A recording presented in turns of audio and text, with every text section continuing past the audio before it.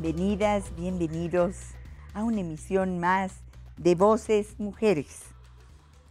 Estamos por el canal 49 y sus cuatro emisoras y el portal de internet del Instituto Morelense de Radio y Televisión.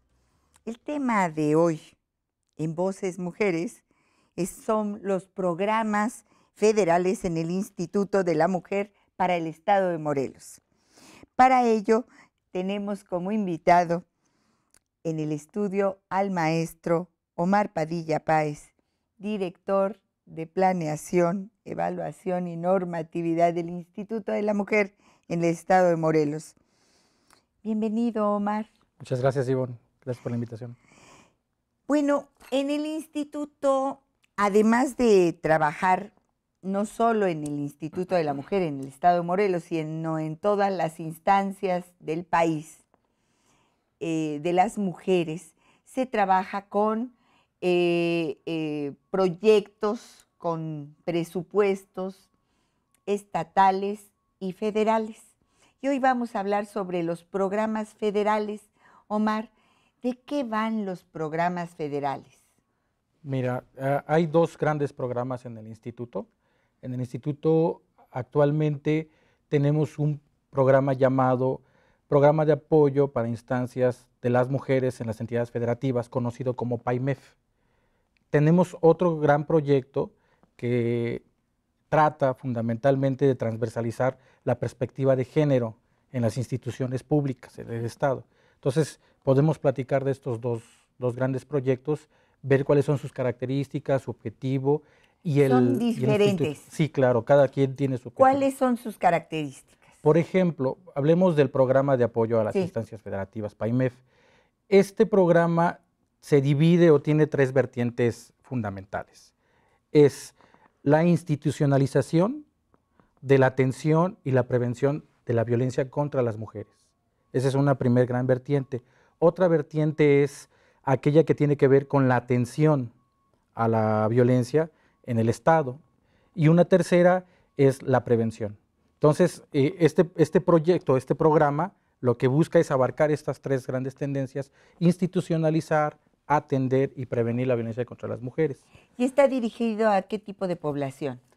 Eh, fundamentalmente el programa, el proyecto de PAIMEF está dirigido a población abierta y su población objetivo son las mujeres que se encuentran en situación de violencia, aunque también atiende al, conjunto de mujeres del Estado para eh, temas como la prevención, es decir, la, cuestión del tema de, la violencia en ellas, ¿no? contra ellas.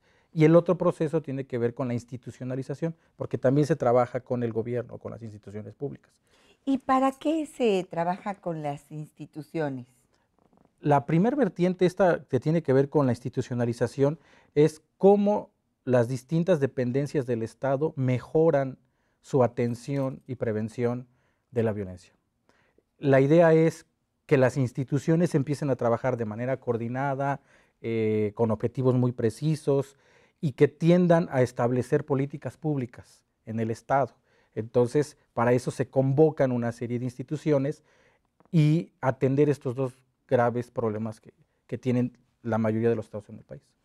Bueno, eh, eh, es la política eh, que tiene el Plan Nacional de Desarrollo y que es la única política de transversalidad con perspectiva de género y enfoque en derechos humanos. Y eso exige una profesionalización y por eso este impulso para generar una cultura institucional con estas características, ¿no? Sí, sí, sí. Definitivamente lo que busca PAIMEV en este caso es este punto de la población objetivo. Eh, tanto el sector público como la población abierta. Pero también tenemos el otro proyecto que es el de transversalidad. El primero está eh, organizado, eh, coordinado por el INDESOL. El siguiente proyecto, el de transversalidad, está coordinado y apoyado por InMujeres. En el caso del el proyecto de transversalidad, su principal o sus principales este, preocupaciones son cómo transversalizas la perspectiva de género en las instituciones, cómo las fortaleces en conocimientos, en, equipo, en material, etc. también les eh, toca el tema, distintos temas, desde salud, educación, vivienda, pero no van a dar a la población directa. Fundamentalmente lo que buscan estos proyectos es que el Instituto de la Mujer del Estado de Morelos articule, coordine esfuerzos, distintos esfuerzos que están haciendo en el Estado para transversalizar la perspectiva de género, desde que haces un manual hasta cómo gastas el, dinero en tu institución, cómo lo haces, tiene perspectiva de género, eh, sirve. El diseño de la cuenta pública. Todo el diseño de la cuenta pública, es decir, cada, cada tema que hacemos como servidores públicos y servidoras lo tenemos que aterrizar a la perspectiva de género y los derechos humanos. Eh, bueno, y hay una gran ventaja porque hay una gran preocupación por la armonización. Eh, tanto el Plan Nacional de Desarrollo refleja ese, esa política y también el Plan Estatal de Desarrollo. Entonces, eh, ya hay una, hay una obligación generalizada a nivel nacional y también estatal y también se ve reflejada en los municipios. Sí, sí, sí. Eso es fundamental, eso que estás diciendo es, porque incluso de nivel internacional todos estos son lineamientos que poco a poco van desde lo federal, lo estatal y lo municipal, porque son todos los niveles de gobierno los que están involucrados. Entonces hay grandes vertientes que se tienen que seguir. Es decir, el, programa nacional, eh, todos tienen que estarse alineados o alineándose a las distintas directrices que marcan ambos proyectos. Entonces, tienen muy claros los objetivos, para qué, cómo medirlo. En este proceso que acabamos de pasar en el instituto, se nos pide eh, la metodología, los procedimientos, cuántas instituciones has, este, te, has sentado y has trabajado con ellas, qué acuerdos, a qué acuerdos se llegaron, cómo lo van a hacer, para qué lo van a hacer y a qué se comprometen. Entonces, eh, son los principios. ¿Quiénes? ¿En qué tiempo? cómo? O sea, decir, creo que es bueno, eso, eso implica la transparencia, nos obliga a profesionalizarnos más, a, conocer de leyes, a conocer desde manuales de procedimientos, eh, investigación en redes sociales, en internet, es decir, te, obliga a que las personas que trabajan en el instituto, eh, eh, en las distintas áreas, se, se profesionalicen en muchos aspectos. Creo que al final son una serie de procedimientos que implican mucho trabajo, pero también una formación integral de las personas que operamos esos programas ¿no? en el instituto. Gracias. Vamos a una pausa, pero volvemos.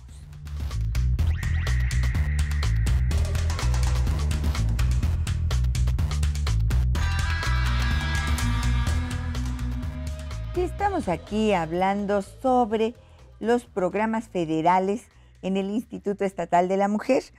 Y los invitamos, las invitamos a participar con sus opiniones llamando al teléfono de producción 243-6200, extensión 158.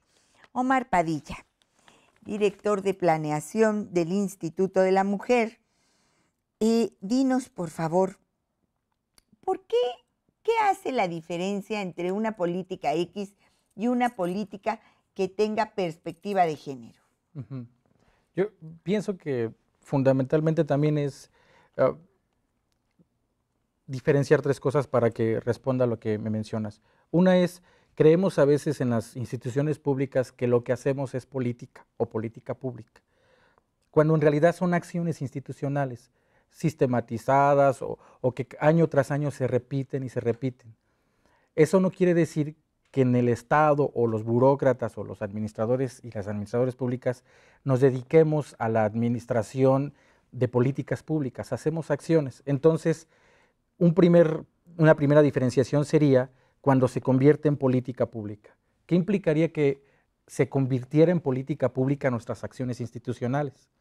Una primera característica es que entrara a la agenda pública, que fuera tema público, que que las distintas eh, dependencias y políticos tomaran el tema y lo, y lo, metieran a su así es, lo asumieran. Lo incluyeran en la así es, que lo asumieran como propio. Eso es una cuestión muy importante. claro. No solo es ya lo asumimos, ya no está en nuestra agenda, ahora cómo implementamos esa estrategia, qué vamos a hacer, cómo lo vamos a hacer.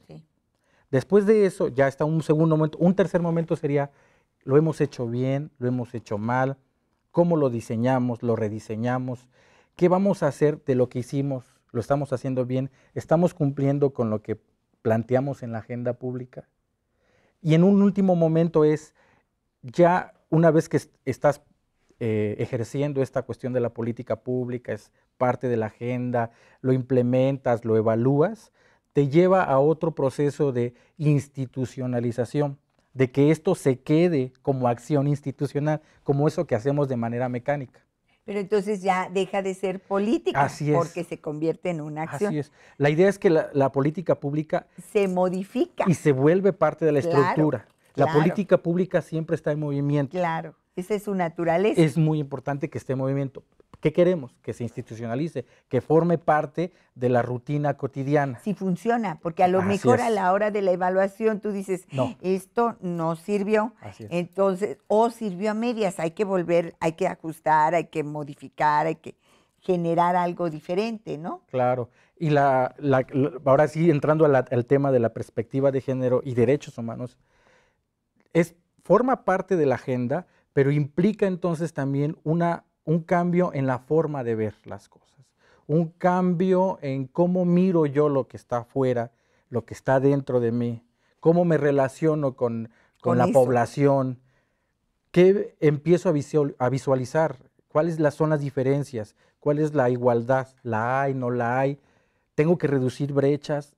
O sea, son muchas preguntas que te empiezan a cuestionar. ¿Existe una brecha? ¿Existe una brecha? Esa es la primera pregunta, ¿no? Porque muchos asumimos que no es así, que no hay brecha. que no hay brecha, que no hay diferencias entre hombres y mujeres.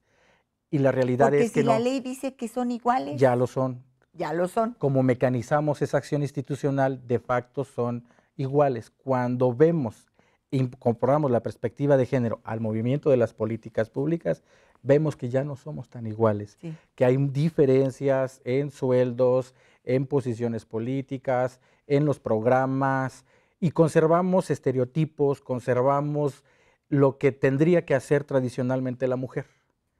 Eso qué importante, ¿no? Así es, es grave.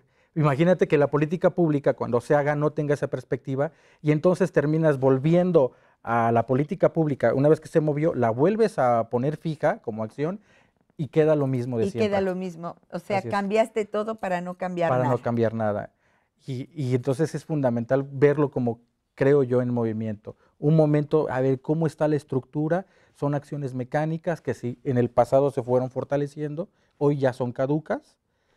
Viene el movimiento de la política pública, entra como agenda, me comprometo a estudiar, a comprender la situación de las mujeres, de las mujeres en el Pero Estado. de las mujeres y de los hombres, Así porque es, es, las mujeres en relación con, Con ellos. ellos. Porque también la perspectiva de género tiene que ver con mujeres y hombres, Así es. porque no es solo un asunto de mujeres, ¿no, Omar? Así es, sí, no, para nada, para nada. E- e- Es muy importante, pareciera que es solo la, las ¿No? mujeres. Y, y la realidad es cómo hombres y mujeres transforman esta realidad Así es. institucional.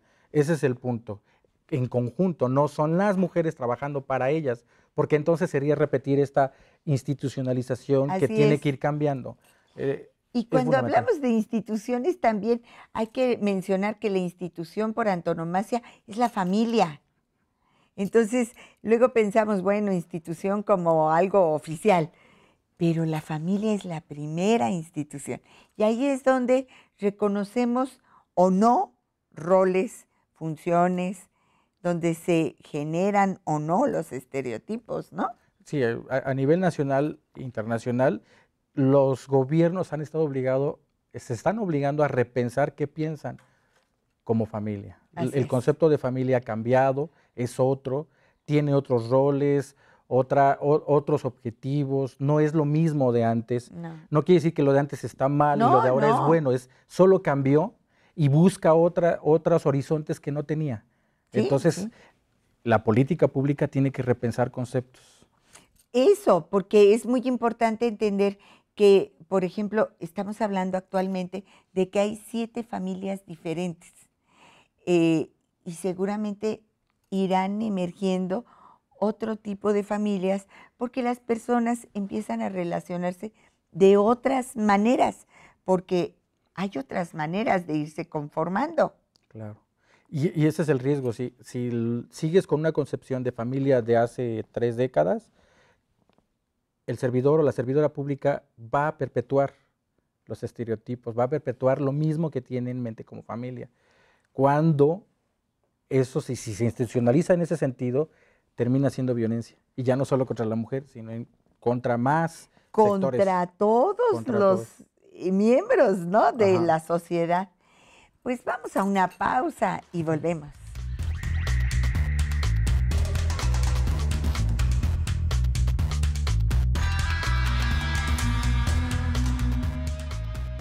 Estamos aquí hablando con Omar Padilla, el director de planeación del Instituto de la Mujer, sobre los programas federales de este instituto. Y bueno, les recuerdo que este, tenemos redes tenemos redes y estamos muy interesadas en que se comuniquen. Estamos en Facebook, en Voz Es, en Twitter, arroba voz-es, y el correo electrónico voz-es, arroba hotmail.com. Omar, eh, dinos, selecciona cuántos programas van a echar a andar el instituto. 43 proyectos, son 18 por eh, el proyecto PAIMEF y del otro tenemos 15, 15 18 de un, eh, en un proyecto y tenemos 23 del otro, entonces nos dan 41, 41 proyectos que el instituto tendrá que operar en un lapso de seis meses. Mm, Desde términos de referencia, selección de proveedores, eh, se, está, se está haciendo todo un procedimiento transparente. Por ejemplo, el día de ayer empezamos a hacer convocatoria a psicólogas, abogadas, para que formen parte de un proceso de selección. Uno de los proyectos, por ejemplo, del, de PAIMEP es fortalecer la atención en distintos espacios en el Estado, desde municipios como Xochitepet, Jujutla, eh, refugios, los CAE, en el caso del CAE del IMEM, se hace una convocatoria y se dice, vengan a trabajar al instituto. La idea de esto es eh, cambiar las prácticas y decir, hay más gente en, el Estado, en los municipios, que puede venir a aportar su conocimiento, sus este, habilidades, su, experiencia. al instituto. ¿no? Y la respuesta ha sido genial. Son 150 y tantos currículums eh, sí, estamos muy contentos. y, la verdad es que nos, nos, este, nos alegra mucho que el instituto empiece a sacar todos estos proyectos y los conozcan. En los siguientes días iremos subiendo los distintos proyectos. Hay uno que en particular me, gustaría comentarte, que es, el, de, el de compartirles, que es el de la casita de Atlacholoaya, la casita de la cultura. ¿no?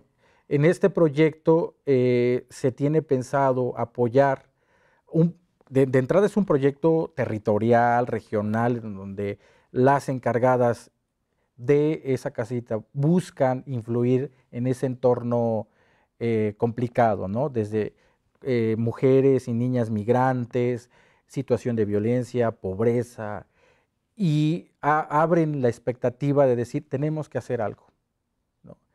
El IMEM, la casita y varias instituciones dijimos, pues, ¿qué vamos a hacer?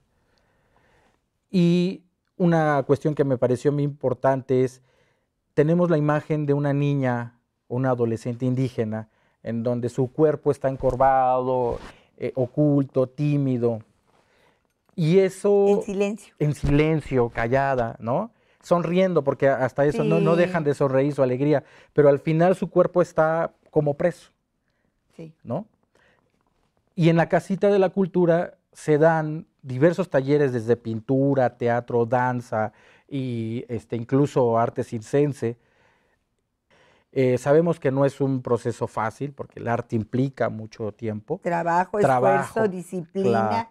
Pero es, va a ser muy notorio seguramente una imagen inicial de cómo se sientan y cómo están a dos, tres meses pasado el, evento es eh, una forma de prevenir la violencia es apropiarse, ser dueño de tu cuerpo, hacerlo libre, ejercerlo de manera responsable, conocerlo, ¿no? Y creo que tenemos que hacer eso por todas las mujeres en el Estado. ¿no? La verdad es que si, si invertimos en las niñas, en los niños, en las y los jóvenes, eh, eh, vamos a tener un México y un Morelos diferente. Y creo que es muy importante esta, esta experiencia que estás planteando, porque si no eres dueña de tu cuerpo, pues no tienes nada. Nada es tuyo. Entonces, eso es, es, es tomar el poder para empezar. Y si una niña se apodera de su cuerpo, pues ya, ya puede ir construyendo su propio camino, poco a poco. ¿No? Recuperar su voz, ¿no? La sirenita no renunciaría a su voz por ir detrás de un príncipe. No, y la, y la idea es que no quede ahí. O sea, es un programa piloto y vamos a ver si funciona. Los, lo que se obtuvo es el próximo año con, con esta nueva cuestión o cambio del presupuesto base cero, ahora que hay que argumentar eh, los, los, proyectos, el instituto está trabajando ahora proyectos piloto, viendo cómo va a, a, largo alcance hacer cosas y que impliquen política pública con perspectiva de género para que empiece, empecemos a cambiar, porque también es cierto, el instituto también está en ese proceso de cambio, no tenemos la perspectiva de género dominada y todo, también estamos aprendiendo día con día y creo que, que nos vea así la población, que nos vean como gente que está aprendiendo y que tiene un objetivo, ¿no? Eh, prevenir la violencia y atenderla y por el otro lado institucionalizar la perspectiva de género. Entonces hay muchos proyectos, otro proyecto sería el que estamos haciendo con UNICEF, ¿no? Ay, ese es hermoso, compártelo. Muy bueno. Eh, el este proyecto son dos grandes bloques. El primer, segundo bloque que es hacer realizar un foro los días 1, 2 y 3 de septiembre, en donde están invitadas niñas y adolescentes indígenas. ¿Para qué se les invita? Generalmente también, aparte de su cuerpo eh, controlado, también no tienen voz. De ellas no sale qué se quiere y qué se necesita. Ni cómo se ven ellas. Y siempre somos los adultos, los de la, la, visión occidental, los que estamos diciendo qué se tiene que hacer. Entonces, el proyecto UNICEF es una metodología de UNICEF, dice, trabajemos en conjunto, está el DIF, están muchas instituciones ahí aportando eh, experiencia, y, etc. Pero aquí lo que me, claro, lo que me gustó mucho es que el IMEM dice, vamos a trabajarle, vamos a bajar proyectos federales y se los prometemos. En mayo los teníamos, los bajamos, afortunadamente, y la idea es que a través de talleres lúdicos, desde su lengua materna, etc., ellas narren de viva voz sus necesidades. ¿Qué quisieran? ¿Cómo ven, cómo ven este mundo y cómo quisieran transformarlo? ¿Para qué? Para que se recupere su voz, se agende. Y entonces las instituciones que hemos participado, que al menos son 10, 11, una cosa así, eh, se acaba de sumar este, CONAFE, en fin, implica, lo que implicaría esto, ya detrás una serie de instituciones diciendo vamos a apoyar lo que salió de esos foros como política pública. ¿no? Entonces, en otros estados ha hecho esa experiencia, el Estado, y eso es una manera de meterlo a la agenda. Sí, sí. Lo metemos a la agenda porque ya nos comprometimos a un foro y ahora lo llevamos a la agenda y empezamos a mover. Y a darle a la sociedad. Así es. No, eso es precioso, Omar. Pues muchas gracias por haber venido a, ti, gracias, compartir. y muchas pues, gracias. pues muchas gracias a ustedes. Esperamos que les haya entusiasmado este trabajo. Omar, teléfonos del instituto, eh, eh, direcciones, algo. Cualquier duda, comentario, pues nos pueden escribir a imem.planeación.gmail.com. Entonces, este, y ahí el teléfono será, es el 173 0066 al 68. Extensión 120 y 124 para el caso de planeación. Y pues yo soy Ivonne Velasco y fue un placer haber compartido con ustedes. Hasta la próxima.